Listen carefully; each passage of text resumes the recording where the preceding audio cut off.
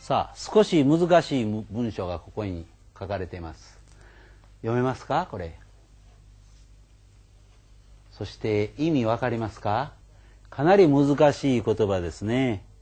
この頃都会では例えば京都でもそうですが、えー、建築建物ですね。建物の建築の高層化は視界の面からも無条件に賛成はできない。つまり、えー、どこの町でも周りに山とかあいろんな風景が見えますね。ところがあまりにも建物があ高くなって高層ビルがどんどんどんどんできることを高層化と言います。だんだん変わってくるいう意味ですね。高い建築に変わってくると視界というのは目で見て見える範囲のことを言います。あまり見えなくなるんですね。向こうの方に山が見えてたのに高いビルができるともう見えなくなってしまいます。その場合に視界が悪くなるとか視界が狭くなると言います。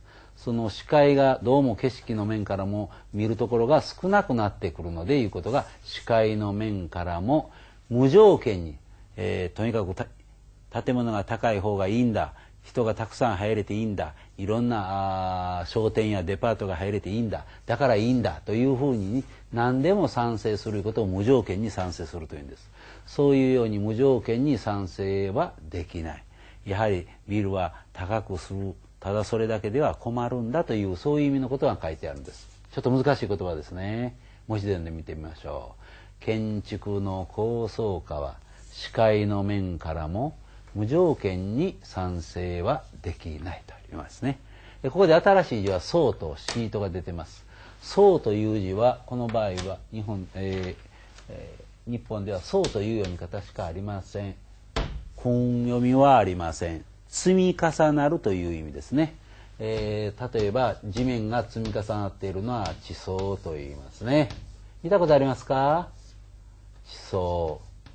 それから他に層のつくのはああのあれがありますね地層の他にうん例えば「一層頑張ろう」とか言ってありますね。一層頑張りましたとか言うね。こういうふうに「層」という字はあ積み重なるというそういう意味があります。それからうんそうだな、えー、この層のここに書かれているこの字ね。こちらは川根または屍と言いますがその下にある字これそうと読むんですが、えー、長野県の松本から名古屋の方へ行く列車が走ってますね。あの谷を木曽谷というんです。昔から木曽。木曽の御嶽さんはという歌も聞いたことあるでしょ。基礎、えー、あの「宋」という字がここに入ってますね。この「宋」を作った使った字がいくつかありますのでちょっと皆さんに紹介しておきましょう。皆さんも知っている字だ。この字。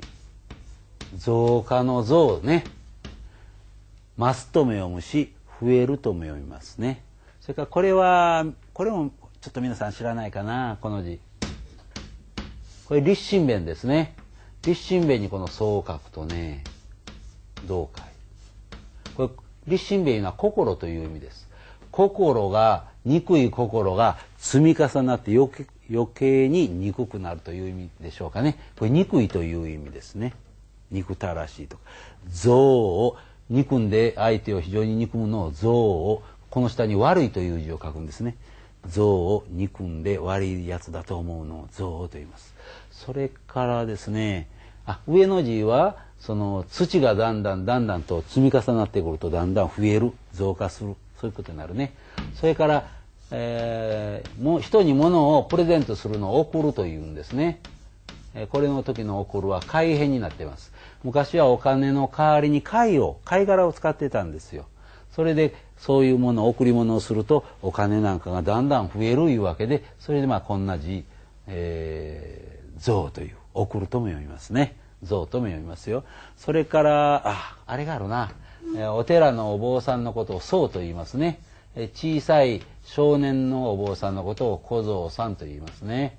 から非常に年を取った立派なお坊さんのことを高僧高いという字書いて高僧と読みますね。こういうようにこの僧を使ったいろんな字があるいうことも覚えておいてくださいね。さあ今度は詩をやりますこれは音しかありません、えー、昔は訓読みで見ると呼んでましたけどまあ詩という読み方だけで覚えておいてもらったらよろしいはいこの「ね」のことを示す編と言いますそして皆さんも学年の初めに視力を測りますね。1.2とか 0. いくらとか。そして0.5ぐらいになると禁止と言われて眼鏡をかけなさいねとこ言われますね。禁止。こういうふうな使い方があります、それで今度それとは違うんですがここに構想化というような書き方がありますね。この「顔を使ったようなにも他にもあります。皆さんの知っているんだったら校内を美しくしよういう場合に美化。いうのありますねそれからあ JR などでは新幹線がますます速くなってきたのでああいうのをこうより高速化してきたとかこういう使い方がありますね。こう川はだんだんそのようになるというただ化けるという意味だけやなしにだんだんそういうふうに変わってくるという意味があります。川は必ず能のように上から下へとこう書いてくださいね。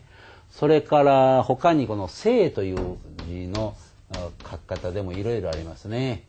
えー、彼は例えば、えー、どんなところ行ってもすぐ仲良しになっていろいろお話ししたり遊んだりできる子のことを社会性のある子と言いますね。こういう社会性とかこういう性質があるよとかねそれからとてもこうたくましくて元気ないう子を野生的な子だと言いますね野生味のある子とかいうね、えー、こういう子はなかなか元気で丈夫ですねそれからこんな字を使うこともありますね。何かに使っているのを見たことあるでしょう？自然の善ですね、えー、そうそのような様子だねという時にこの自然とか言います。生前というような言葉あります。きちんとした様子の時には生前と書きますね。あるいは他に天然という書き方がありますね。天然だったら生まれたままの天からもらったような姿のまま祝いに天然と言いますね。それから敵というような使い方があります。例えば自分の仕事をする場合には私的な仕事と言いますね、えー、こういう自分だけの自分の仕事個人的な仕事をする場合ありますね。お家の中の取り片付けとか掃除とかそういう場合には個人的な仕事だと言いますね。こういう敵というふうに、えー、使い方もあります。それから他に「み」という使いこの字見たことあるでしょ？この前未来というのを言いましたがそれと同じように例えば未完成とかね。まだ完成していないよいう場合には未完成。あるいはまだ何もできて上がっていないよという時には未定とか言いますね。まだ何も定まって決まっていないよいうのは未定。これもあるでしょ？さっきやった「日」ですね。これも何々ではないという意味ですね。例えばうんそうだな。えー、よくバスの運転手とか電車の運転手している人あるいは警察官のお父さんなどはよく今日は非番だよ。今日は自分の仕事をする番じゃないんだよいう時に非番という言葉を使いますね。それから非常に、えー、大きな音が聞こえたいのは常ではない普通ではないという意味に非常というこの「非」という言葉を使います。さあ他にまだ「無」というのがありますね。これは無理とか無礼とかいう無料とか料金がいらないいう場合にはお金がいらないよいうことで無料ですね。あるいはうんまあこのぐらいのあります。もう一つ書いておきましょうか。無礼礼儀知らずだいう場合ね。無礼という読み方があります。このように言葉をつけると全く逆のような意味になるのもありますね。あまだもう一つあるな。風これ風を使った場合にこんなんあるでますよ。不明とかね。さっぱりわからない。明るくない。それから行方不明のがありますね。あるいはその不満。ね。こういうのがあります。さあこういうふうないろんな言葉遣いがありますのでこういうのをしっかりと満点プリントの中にも問題がたくさん出ておりますからいろいろそういうのを見て書いてしっかりと覚えていってくださいね。